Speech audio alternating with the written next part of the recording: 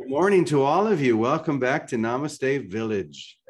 It is Wednesday, and this is the day to realize that it is in my defenselessness that my safety lies, that I need not defend.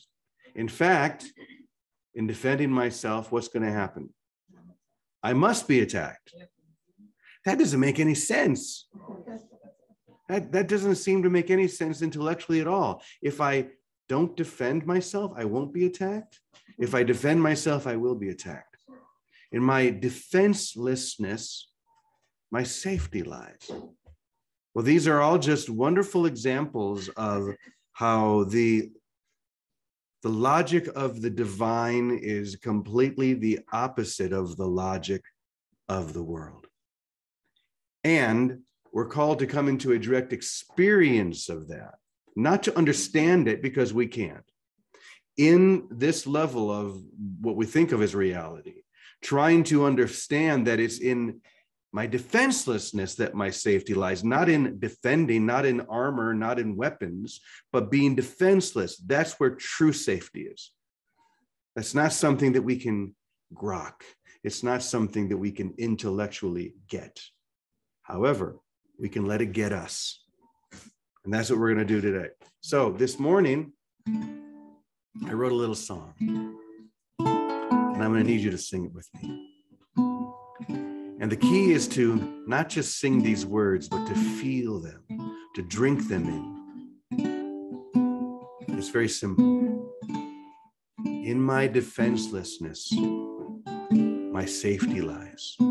I'll sing it once or twice, then I'll bring you in, okay?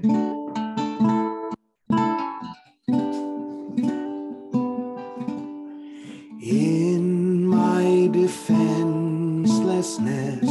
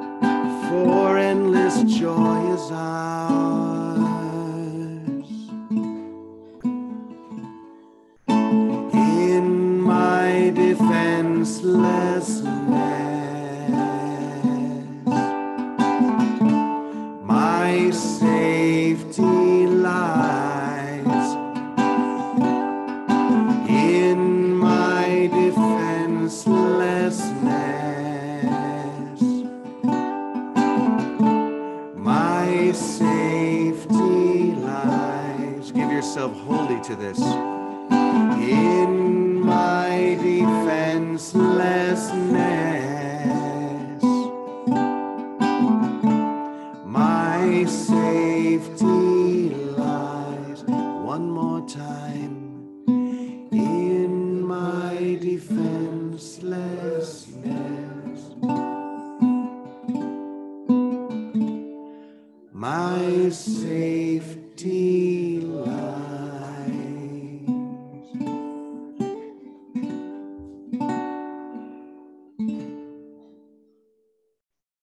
Just hold still for a moment and see if you can feel divine safety, holy protection, and being wholly protected.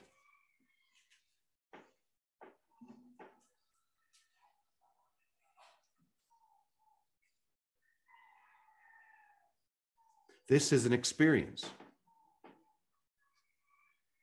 not an idea, not a concept. It's an experience. And it's one that we can have right now if we just surrender, beginning with all of our ideas that we must defend ourselves, that we have to protect ourselves, because if we don't, what might happen?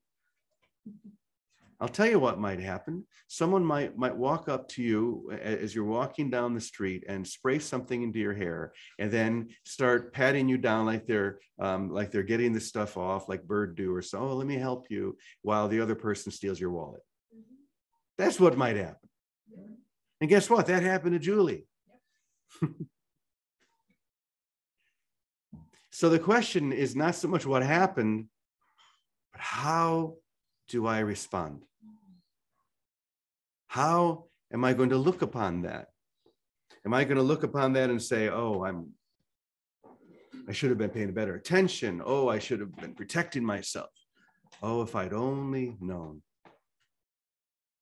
Or am I going to hold resolutely to this? In my defenselessness, does true safety, and my safety is not whether someone takes something from me, Guess what? That's what the world does. That's what the world of perception, of separation, of split mind is meant to do to remind you that this is not your home. Ooh, that can be challenging because we want to believe this is our home. But these little reminders tell us no, beyond this world is the world that you really want. And I don't mean beyond this earth this is where we get confused sometimes. The world that I have chosen to create and to see and to perceive in my mind, beyond that world, there is a world of unity, of oneness, of reality. So today, I, I don't do this very often because I, I know some of us are students of A Course in Miracles and some of us are not. And that's fine. The truth is true, where, whatever lens it comes from. But today we are going to read a little bit of this because this seems to be what's in front of us. And whatever's in front of us is where, is where the lesson is. And when I heard what, what happened to Julie, my, my first thought is, oh, we have to warn everybody. We have to tell everybody. If someone walks up to you and you feel something like hit your, your, your head, like something wet, and people start running up to you trying to get it off, I need to let them know that so that they can, well, as where where's Catherine? Is Catherine? Catherine yesterday demonstrated what she would do. Uh, don't do it now, please. She, well, what did you call it? Your crazy white woman scream? Holy shit. I would run if she's. So are are we all to learn some kind of a crazy scream? I don't know. I don't know to defend ourselves, to ward them off? I don't know. All I know is this it is in my defenselessness that my true safety lies. So I've picked just a few paragraphs because lesson 153 in the course is a pretty long one. So I've picked just a few paragraphs to really bring this home. But I, I want to begin with us being very clear with what the world of the split mind is and what it's for. So this is what the first paragraph says. You who feel threatened by this changing world, its twist of fortune and its bitter jests, its brief relationships and all the gifts it merely lends to take away again. Boy, he doesn't really paint a very fun picture of the split mind, does he? Attend this lesson well. The world provides no safety. It is rooted in attack.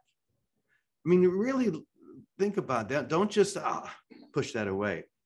Really look at it, and you're going to discover it's true. The world is rooted in attack.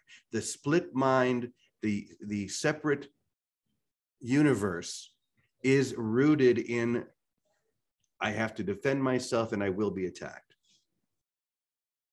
All its gifts of seeming safety are illusory per, uh, deceptions. It's attacks and it attacks and then attacks again. No peace of mind is possible where danger threatens thus. Okay, what do we do with that? Well, I, begin by going to the lesson of the day from A Course in Miracles, which is love which created me is what I am. Love which created me is what I am. I am love. That's my rootedness. That's my safety and my salvation. And when something happens to me here, and it will, I hate to tell you, something's going to happen. It may not be today, it may not be someone spraying water in your hair, but something's going to happen. Come back to this. Remember that it's in my defenselessness that my true safety lies, and the truth within me is forever safe, forever protected, forever whole. Let me read a bit more. We look past all of these dreams today and recognize that we need no defense because we were created unassailable without all thought or wish or dream in which attack has any meaning. The truth within you is unassailable. Count on that. Now we cannot fear, for we have left all fearful thoughts behind. And in defenselessness, we stand secure serenely certain of our safety, sure of salvation, sure we will fulfill our chosen purpose. As our ministry extends, our ministry now, as it extends its holy blessing through the world. So, what this is saying is that if you want your true ministry, and if you want that to extend as a blessing to the whole world, you must be like a little child no defenses. Now, how far do we want to take this? It's good. All the way. That's says yoga boy in the back. All the way, yeah. Uncompromising. Remember, that's one of our favorite words. We, we, we could have a whole meeting and we, we could list all of the, the ways that we should follow this and all the ways, well, just in case, if this happens, make sure you have mace in your pocket. Or if that happens, make sure you know some karate moves. We, we could rationalize that all day if we want, right? But what happens if, if I just really give myself to this lesson and be so innocent, be so defenseless that no matter what happens, my peace is not disturbed? Now, I, I don't know how Julie felt in the moment.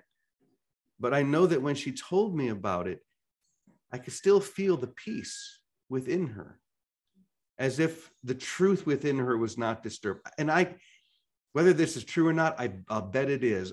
I, I could feel her blessing those people because she knew it's not what it looks like, it's something much deeper. It's what I choose, how I choose to see and am I willing, even in a situation like that, to choose to see those people as innocent? What do you think a whole mind would do? What do you think Jesus would do, or any other master, whatever you want to call that? They would see their innocence. Read a bit more. Be still a moment and in silence think how holy is your purpose, how secure you rest, untouchable within its light. You are untouchable within this light. God's ministers have chosen that the truth be with them. That's you, by the way. You are the ministers of God, of love. Who is holier than you? Who is holier than these ministers? Who could be sure that their happiness is fully guaranteed. Your happiness, if you want, is fully guaranteed. And who could be more mightily protected than you, the ministers of God? What defense could possibly be needed by the ones who are among the chosen ones of God, by God's election, and by their own as well? You have chosen this path. You have chosen, you wouldn't be here right now. You wouldn't be listening to this right now, sitting in this room or sitting wherever you are. You wouldn't be doing it if you didn't realize that you were chosen. You were chosen to express divine innocence. Not original sin, but original innocence. That's how we were created. And that's how we remain. One final bit. Today, our theme is our defenselessness. We clothe ourselves in it as we prepare to meet this day. We rise up strong in Christ. Christ, you know, let's expand our definition of that. Just in case you're wondering, I, I love what Richard Rohr says Christ is just another word for everything, everyone, and every moment. So we rise strong in that, in that Christ, in that experience, and let our weakness disappear as we remember that God's strength abides in us. God's strength abides. That's the only thing you need. We will remind ourselves that God remains beside us through this day and never leaves our weakness unsupported by strength by eternal strength. We call upon God's strength each time we feel a threat and of, of our defenses undermine our certainty of purpose. We will pause. There we go. Here's the pause again. We will pause a moment as God tells us, I am here. I am here. So, knowing that the I am is present within us, right now, and that it's by holding true to that divine defenselessness that we are totally safe. So let's sing this chorus just a couple of times just to anchor that feeling and that experience. In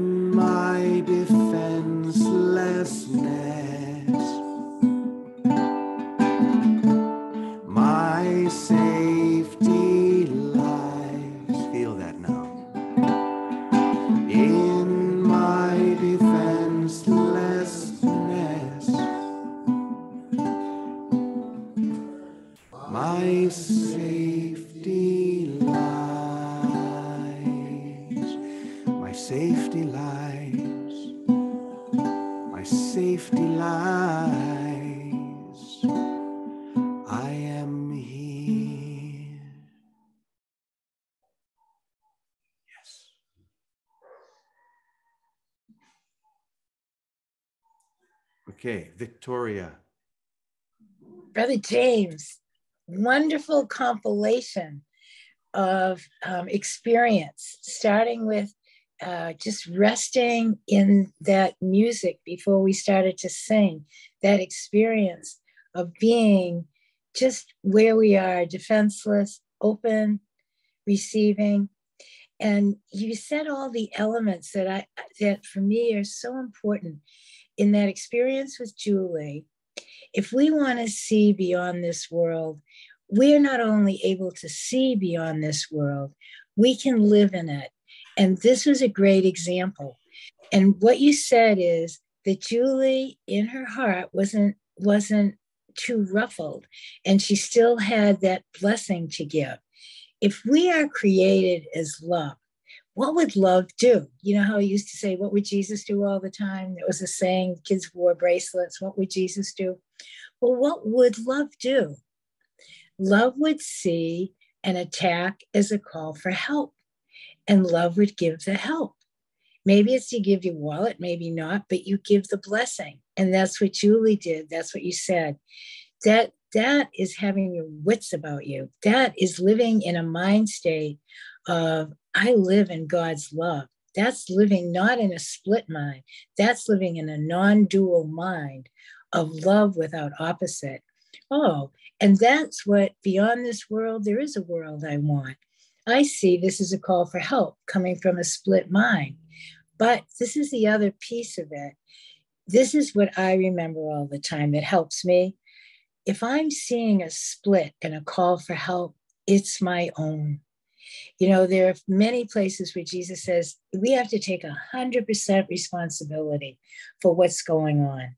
And then the uh, out, the out picturing of it, the unfolding of it is the gift given back to us for the opportunity, perhaps for correction, for the opportunity to see that we are not victims because maybe we have believed that we could be victims. And this one experience with Julie has it all. She seems just to be on her merry way, and something seems to come out and attack her, and she seems to be a victim. That's exactly what the split mind draws as its diagram of living in duality. But when we are restored to one will that we are as God created us, we're his children of love. We live in a in the land of love. Then if we live in the land of love, then all that's given us are the tools of love. And one of them is the vision to see what isn't love is a call for love. And if I'm the one seeing it, it must be somewhere my own call and my opportunity to heal any other misbelief that separation could be true, that there is another world of being a victim, of being hurt. And, and that, and then the other piece you mentioned, that pause. In that pause is where we become either defenseless or we become fighters. Either we fight or flight, or we or we open to the presence of love, which is the spirit of love, the Holy Spirit. In the pause, if we can have that, that, uh, I don't know, that gift of love stay consistent in us, we pause for a moment and the Holy Spirit literally fills us with the answer. And that answer is always going to be a blessing. I remember one time uh, years ago in the restaurant, I sent a, one of my little girls with the deposit to the bank. And she came back and said, Oh, someone stole it from her. And I, it, whatever it was, I knew it was her boyfriend and it was a setup. and so I'm sitting in the office thinking, now what do I do with this? Of course, I'm a student of Course in Miracles. In my defenselessness, I remember sitting there as you were doing this, thinking, oh no, I needed that money to cover the checks. Nope. In my defenselessness, I've got to see this as my own call for help because I believe that my safety lies in a bank account, in green strips of paper. And perhaps if I were physically attacked, in my body's safety. My safety lies in the love of God. What would love do? And I remember sitting there saying, okay, I got to love this girl and bless her. And don't worry about what it looks like. And of course, I didn't send her for deposits anymore. I changed her position a little bit. But but the truth is, I love that little girl because I could see, oh, this is a call for help. They're buying drugs or they're doing something, and this is a big call for help. I've got to, I got to answer the call for love, and I don't know the Holy Spirit I have to take care of the bank account, and He did. And I'm, this is the truth. Within a month, my my sales in the restaurant went up about a third, and it mm. was dramatic for me at the time because I needed every deposit to cover whatever those days' checks were. And um, not only that, the situation with that little girl and her boyfriend shifted. Now, I don't remember to this day the, the, details, but I remember thinking, oh, this is good. She's not with him anymore. She's not, they're not doing the drugs or something happened. But there was a healing that went all the way around where nobody was guilty. I never said, never told her I knew, never anything. Just I knew this happened, but I knew it was my responsibility, not hers. And I asked for correction for myself. I really sat in the office and was shaken. So I paused in that moment and I knew to answer her call for help. And that really was the formula for me. It's take responsibility. This is the opportunity for a deeper healing of my own mind. I have to wait a minute because I'm shaking. That's where you wait for it. You wait for the Holy Spirit. Let yourself shake. It's okay to shake or be concerned or be frightened. Just wait with the Holy Spirit. Don't wait alone. Wait with the embrace of love. Let love hold you there. And then give the blessing. Give, answer the call for help. If we don't answer our brother's call for help, we're not receiving because we're not giving we it's in our giving of the call for help that we get the help we need. And i needed sales to go up and there it was. Sales went up. So i was very grateful. It didn't go up overnight. It did take about a month a couple of weeks and i thought oh my gosh. And i knew that that was directly related. I knew that that was my call for help and this was the form it took. And my little girl jackie i remember her to this day wasn't blinded by drugs anymore. And she continued to work for me for years, very happy and very healthy. So that was one example. But all of us have the example. The blueprint is in what would love do? How would, if we're God's children, how would He take care of us through love? And it's in going and listening and trusting Him beyond the fear, wait it out, taking responsibility and giving the blessing. So that's what I have to say this morning, James. And Julie, thank you for that example. And uh, thank you all. I love you all. Oh, thank you, Vicki. And by the way, who took Julie's chair from over here? Julie usually sits right there, and she usually has a, a certain chair. And yeah, I know she's back there, but I, I I saw her come in, and there's usually a chair that says Julie's chair because it helps her back. Julie, we got you. Don't worry. wow. Thank you, Vicki. Well, we have something really, really beautiful now. And we have a new resident named Scott Grace. Many of you probably saw Scott when uh, he played for us virtually at one of our Sunday services. And uh, he now and then is going to share a song that he writes just for our sessions, kind of like I did with this this morning. Uh, and we're just so happy that Scott's going to be with us. So, Scott, I'm going to, uh, uh, while you're getting set up, Leslie, you had something that you wanted to share. So, if you could do that quickly while Scott's coming up, that would be fine. So, come on up, Scott. Okay, cool. There was a wonderful story in um, Chicken Soup for the Soul about a small, a man, a woman, and a small child who were camping in a rented uh, camper van in Baja, California and in the middle of the night, some banditos banged on the van and uh, came in and started looting the place. And um, the man thought, "What if these were guests of mine? What what would I do?" And he started giving them all the good stuff, like the camera and etc. And uh, he uh, they he offered them food, but he said, "I'm sure they probably don't want tofu." but only one of them spoke broken English. And they ended up uh, forcing them to drive somewhere. And, and the guy realized that he, they were driving themselves home. And they had taken their car, credit cards and money.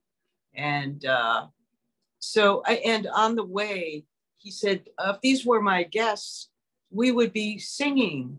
And so the only song they knew was La Cucaracha. so they started singing that and everybody was singing. And when they got to the to these people's homes, the the one who spoke English handed back some of the like the credit cards and some of the money and said, "We're so sorry. This is the only way we know how to get money." And it was just such a beautiful story. So thank you for allowing me to share. Microphone's here. I think it'll work. Okay, beautiful. Thank you, dear. So this is Scott Grace, everyone. I think some of you know him already. And so, Scott, I'll let you share what you want. Sure. Well, to get the maximum health benefits of this song, I want you to know that the experience that Julie had was at Walmart's. Okay, now you have all the information.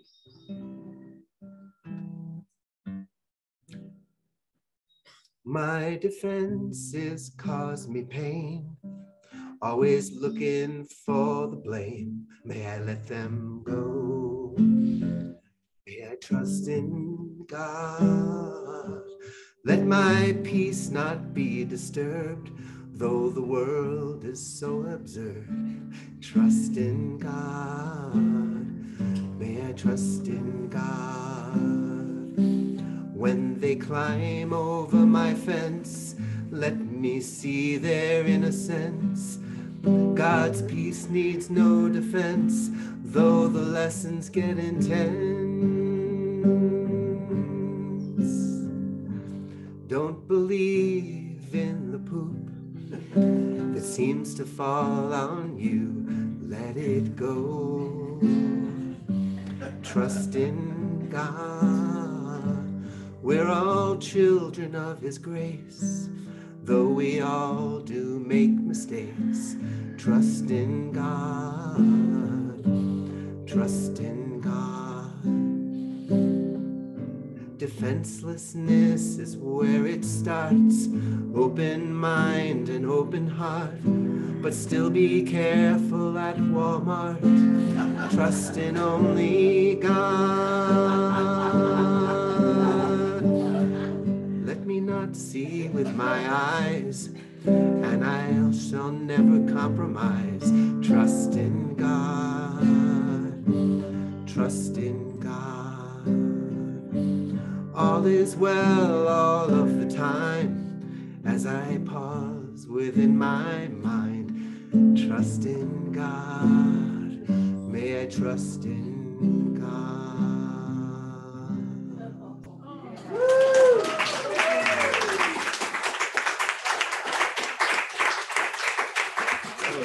Great. Thank you. Thank you, Scott Grace. Wow, just trust, trust, trust, trust, surrender. Ah. Julie, anything you would you want to share or? Okay, beautiful.